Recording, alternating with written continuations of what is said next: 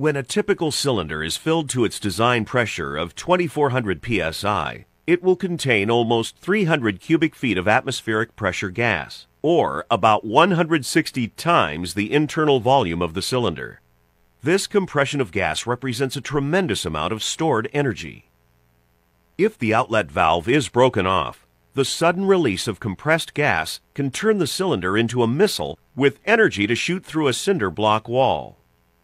In one reported incident, a damaged cylinder penetrated two sheet metal walls before becoming airborne and exiting through the roof. The tank reached an altitude of 140 feet before falling back through the building's roof a second time. When a steel cylinder becomes a projectile, it can move with great force, at high speeds, and in unpredictable directions, with the potential to cause serious or fatal injuries.